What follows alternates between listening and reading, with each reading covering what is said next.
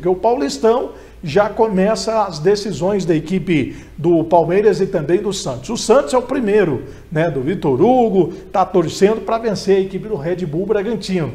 Duelo difícil para a equipe do Peixe nessa fase semifinal. Aliás, a equipe do Santos conta, né, com um jogador que foi contratado em dezembro do ano passado, que é o Rainer. Esse aí que aparece nas imagens chegou ao Santos com um olhar de desconfiança. O atleta de 28 anos foi ganhando aí a confiança não só do técnico, mas o apoio da torcida e tem sido um dos principais nomes da equipe semifinalista. Além da velocidade, ele vem se destacando pela polivalência, pois é lateral direito de origem, mas também joga pela canhota.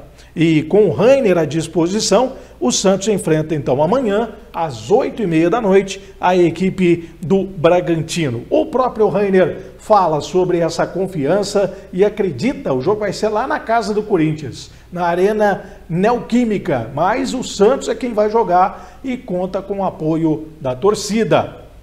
Estou colhendo frutos de um trabalho bem forte que venho fazendo. E isso é bom, esse destaque é sempre bom. Bom que o trabalho que você está é, exercendo está sendo fazendo bem. É, já, já, já atuei de lateral esquerdo já algumas vezes, não vejo dificuldade. Às vezes para enquadrar o corpo, para dar um passe de esquerda mais forte, para ajudar o companheiro. Mas a gente vai acertando isso aí, não vejo dificuldade não. Me ajuda bastante, me orienta bastante no, nos posicionamentos, né? No ajuste de corpo, então ele me ajuda bastante. É, casa cheia com certeza vai estar, porque a torcida do Santos é não dá para falar essa palavra. é, mas acredito que seja casa cheia, independente do lugar que a gente jogar, a gente vai estar preparado e vamos fazer um bom trabalho.